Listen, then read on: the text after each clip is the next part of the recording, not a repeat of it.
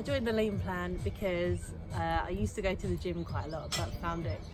um, not very motivating and I'd heard really good things about the lean plan and thought that I would give it a try.